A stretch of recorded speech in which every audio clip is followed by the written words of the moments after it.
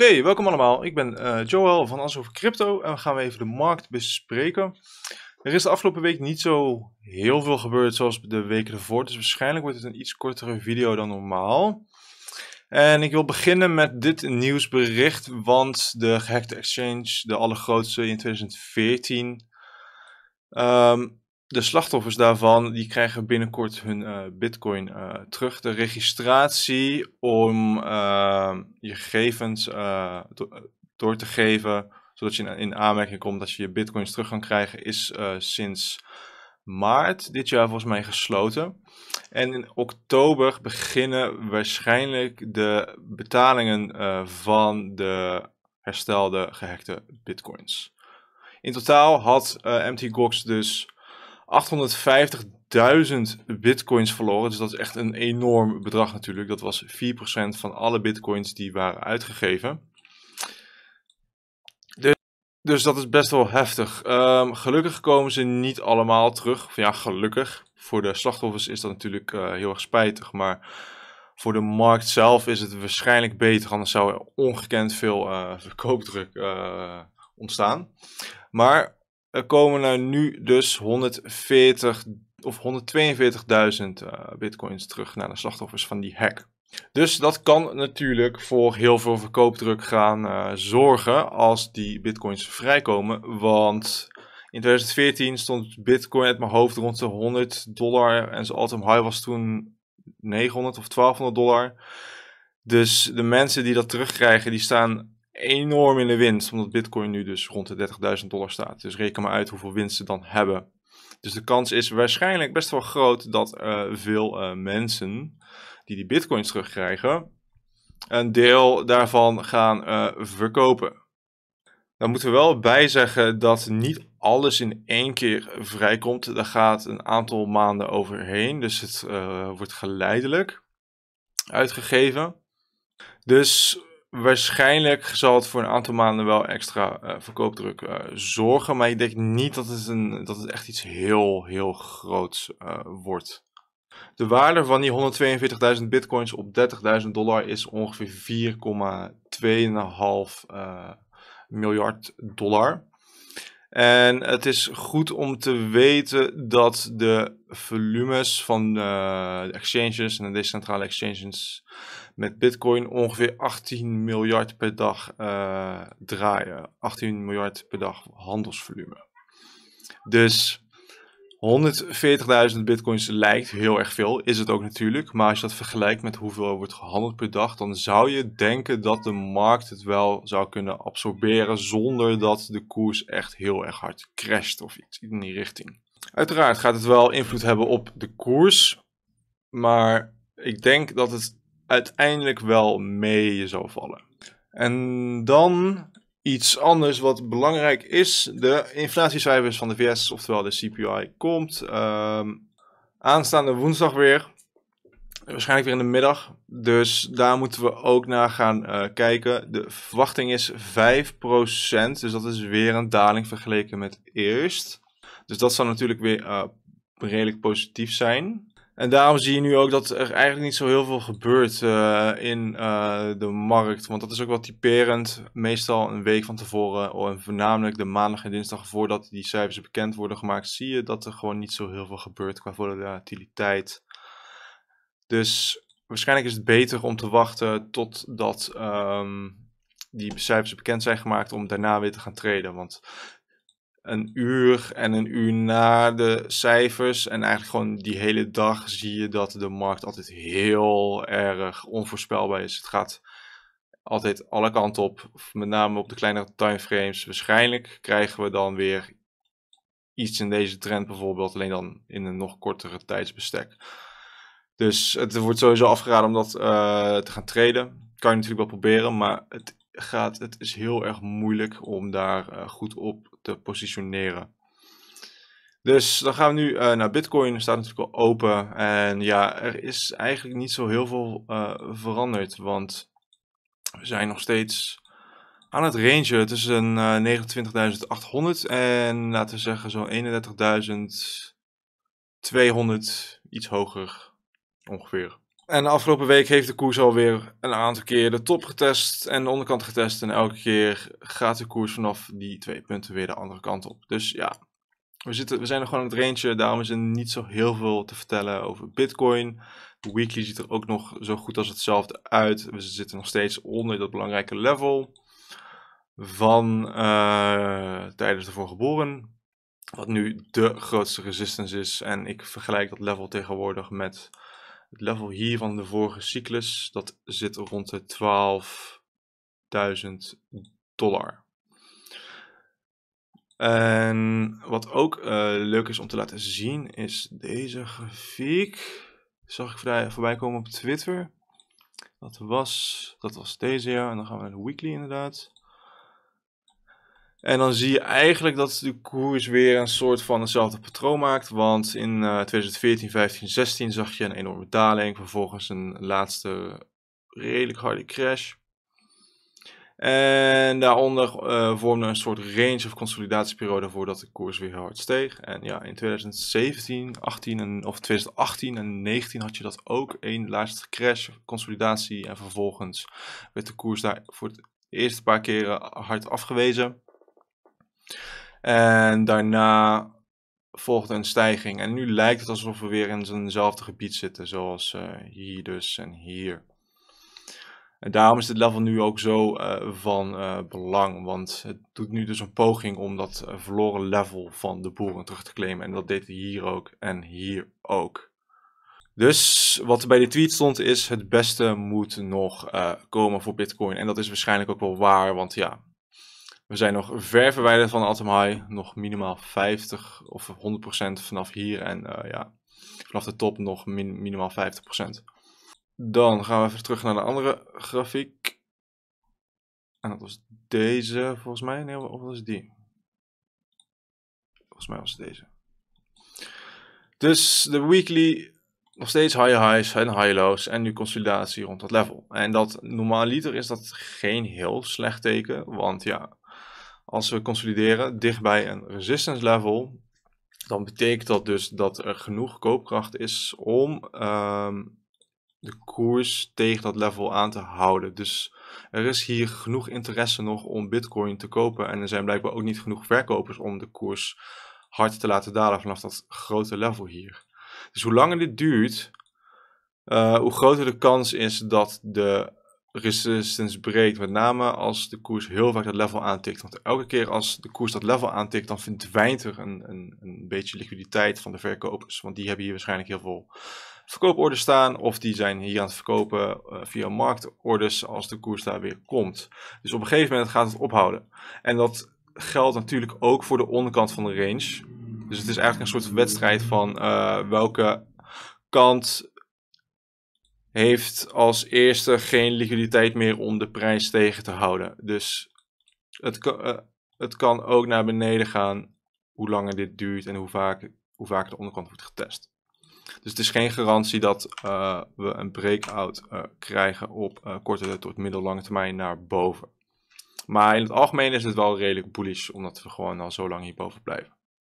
Voor de rest is er eigenlijk niet zoveel te vertellen over Bitcoin nu, want ja, we zitten al hoe lang in, de, in dezelfde range? Volgens mij nu ongeveer een maand. Dus daar houden we het dan wel even bij. Bitcoin dominantie doet ook niet zo heel veel. Op dit moment is aan het consolideren na die uh, harde stijgingen. Is ook wel weer redelijk uh, hersteld en gebounced. Dus dat moeten we ook in de gaten blijven houden. En dan met name die twee levels hier, 53% en 58%. En als die dat aantikt, moeten we kijken hoe de altcoins reageren. En dan ook met name Ethereum, uh, Bitcoin.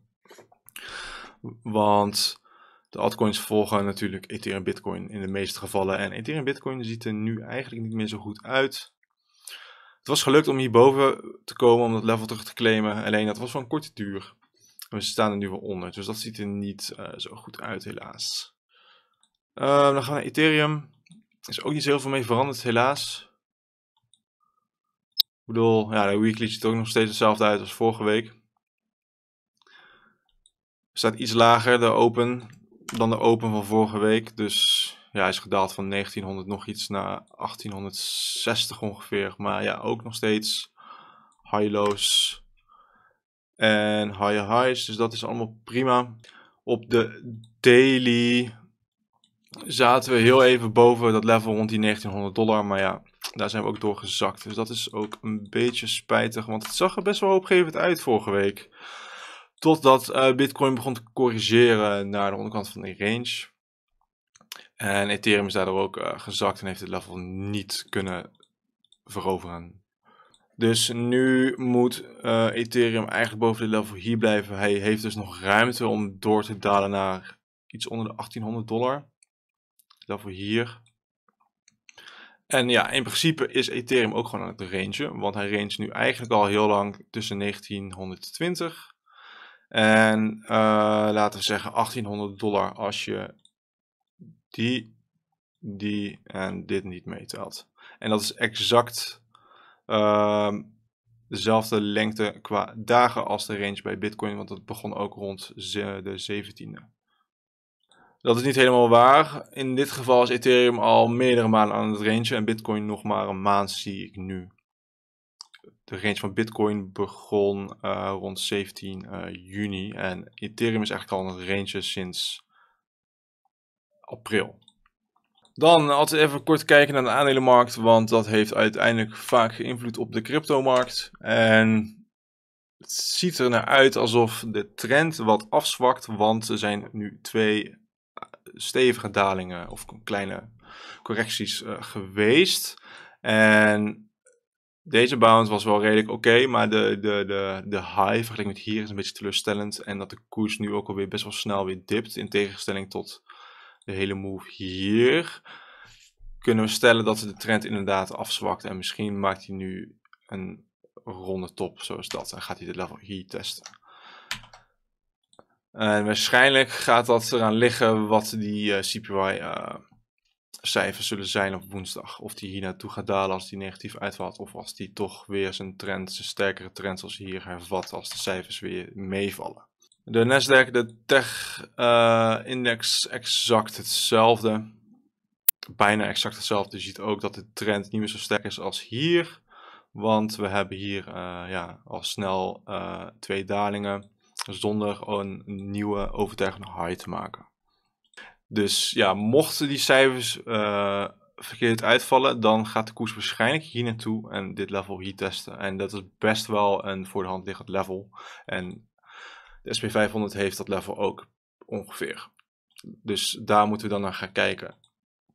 Dan Ehm, wat ik ook interessant vind is dat uh, Coinbase en MicroStrategy het goed doen. En dat komt natuurlijk omdat uh, Coinbase uh, een deal heeft met BlackRock en de Nasdaq. Want die twee partijen gaan Coinbase dus gebruiken om de bitcoins te kunnen kopen voor hun toekomstige Bitcoin spot ETF, als of mits die wordt goedgekeurd. En door dat nieuws is Coinbase natuurlijk redelijk gesteld en al best wel veel gestegen. Dus dit kan ook wel een interessant, interessante trade zijn als die even een keertje begint te dippen. En dan willen we eigenlijk even kijken naar de weekly. En dan heb je in principe een gebied hier tussen zitten. Dus als die een keer dipt tussen de 76 en 82, dan zouden we hier een trade kunnen nemen. Want hierboven zit eigenlijk ook niet zo heel erg veel meer qua resistances. We hebben alleen dit level hier. En dan volgt hier het volgende level op 160 dollar. Dus dan kan je al best wel veel uh, winst pakken als die echt goed doorschiet. Met een stoploss van ja, zo'n 10% ongeveer. Kan al voldoende zijn. Dus dat is een interessante om in de gaten te houden. En MicroStrategy ziet er ook erg uh, goed uit, want MicroStrategy is al uitgebroken door dit level hier.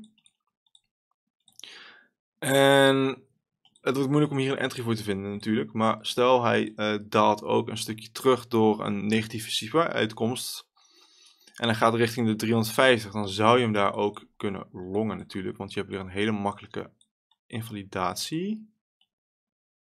Zo. Ook van ongeveer 10%. En hier tussen zit ook niet zoveel. Dus dan heb je hier een target en ja, misschien dit level hier ook nog. Dus dan heb je winst van 22% en eventueel 45%.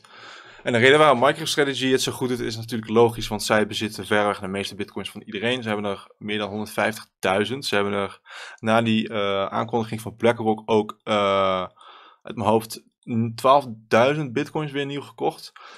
Dus de reden dat MicroStrategy natuurlijk mm, stijgt is gewoon omdat er bullish nieuws is uitgebracht over bitcoin. En aangezien zij zoveel bitcoins bezitten, is het best wel logisch dat dat aandeel omhoog gaat. Dus die twee houden we in de gaten voor eventuele trades. En ja, voor de rest is het allemaal weer een beetje matig. Behalve een aantal max shitcoins die het goed doen. Zoals een SDEX nog steeds. En doet het nog oké. Uh, nog een hele nieuwe kleine shitcoin doet het ook wel redelijk. Litecoin is weer een beetje teleurstellend. Na die breakout zit hij eigenlijk weer onder dit level hier. Maar hij kan het nog overleven, want hij zit nog in principe in het gebied van al die highs. Plus hij is hier wel redelijk van afgebouwd. Dus er is nog hoop dat hij doorzet, mits Bitcoin natuurlijk uh, wat uh, ja, gewoon weer een beetje stijgt. En ja, we zullen wel even een beetje doorheen scrollen, maar je ziet eigenlijk niet zo heel veel um, coins die het goed uh, doen. Injective kan ook interessant zijn trouwens. Als we op de weekly kijken namelijk, dan zie je hier een breakout en al twee bounces op de weekly rond dat level bij 87 of 7,80 dollar.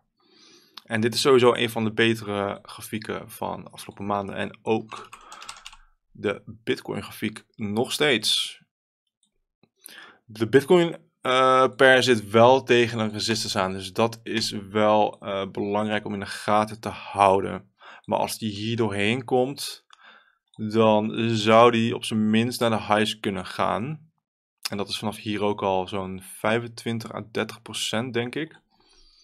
Dus Injective blijft interessant. En er was er nog één vandaag.